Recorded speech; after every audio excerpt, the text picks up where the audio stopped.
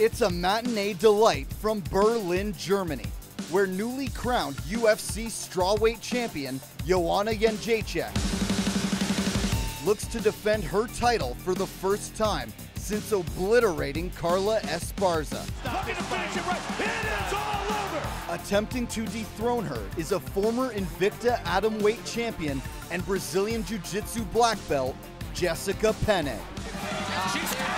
Will the relentless grappling attack of the Italian American, who has submitted seven of her 12 opponents, be enough to upset the undefeated Polish kickboxer and six time Muay Thai world champion?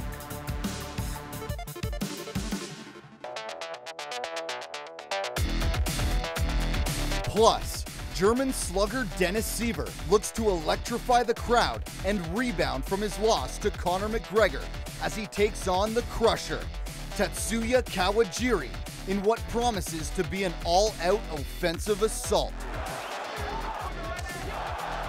This is UFC Fight Night, Jędrzejczyk versus Penne for the UFC Strawweight Championship of the World.